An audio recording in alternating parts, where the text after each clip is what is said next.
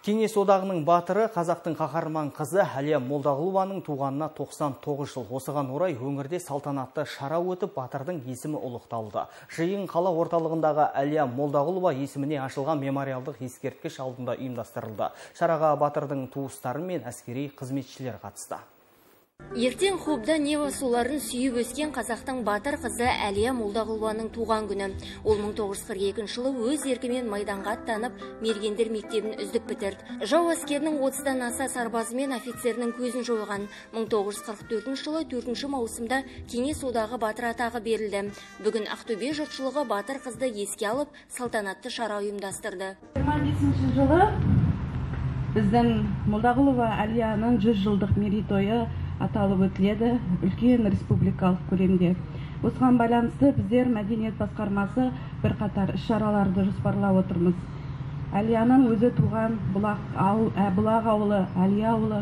Осыларда көгалдандыру жұмыстары жүргізіліп ауылдық клубтарға әлия атындағы ауылдық клуб әлия патриоттық орталығына күрделі жөндеу жұмыстары жүргізілетін болады.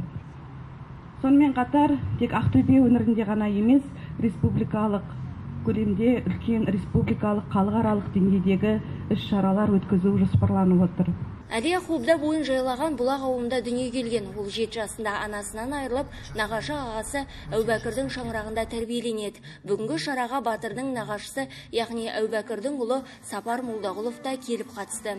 Әлия апай маған жием болады.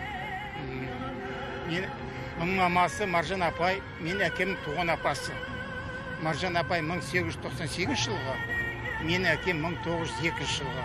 Менің әкем төрт жас кішілігі бар апайда ендігі ретте бере келгеннен кейін отыз сегізінші жылы әкеміз әлияға өзінің фамилиясын беріп өзінің туған қызындай қылып өсіріп өндіріп фамилиясын береді. Молдағұлов болды сол молдағұлов болды міне бүгінге дейін сол молдағұлов болып кетті Жиынға Бөкенбаев атындағы заң институты Ақтөбе облысының қорғаныс істері жөніндегі департаменті, Бегілденов атындағы әуе қорғаныс күштері әскери институтының курсанттары, жауынгерлік бауырласты қоғамдық қоры қатысты.